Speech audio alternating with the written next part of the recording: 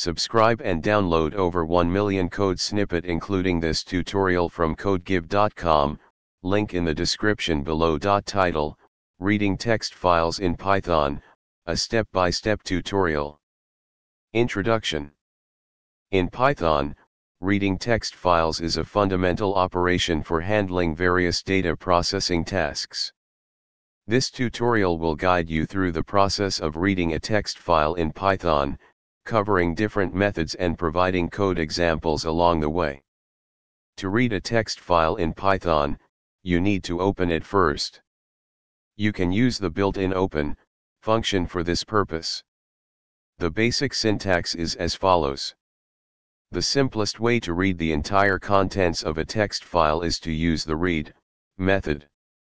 It reads the entire file as a single string. If you prefer to read the file line by line and store each line in a list, you can use the readlines method. Alternatively, you can iterate through the file object directly, which is memory efficient for large files.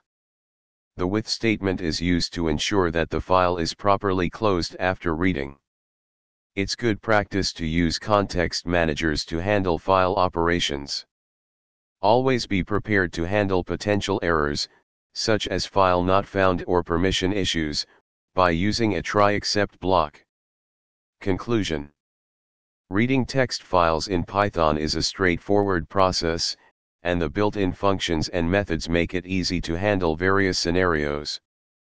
Choose the method that best fits your needs, and don't forget to handle potential exceptions for a robust application. ChatGPT